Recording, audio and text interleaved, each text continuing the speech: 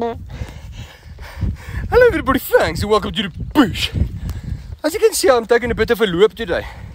I'm trying to find things that are, are, are people like to see and um, that they think that they've never seen before.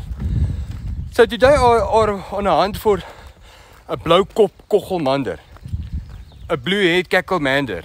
Okay, it looks like a lizard, but it are a groot fat one. And it got a blue head, like someone hit it with a kop and it got bruised, but it it are blue, nee? You normally find them near by a klippe. Oh, can you feel the sun above my face? I'm getting some photosynthesis, photosynthesis, yeah, that thing. En ek as nou dis blou kop koggelmanders, nee, the blue head cacklemander. They normally lie by a klippe and tan. Sometimes if you if you look quickly, you'll miss them. Because it look like a plate cookie, a plate cakey. Why do always bloody hurry does everywhere, man? They pop up like when you plant millies. It's like they just come like from nowhere there. Anyway guys, so I've been walking for about four hours now and I, I don't know why, but the blue kop koggelmanders, nee, the blue head cacklemanders are very shy today.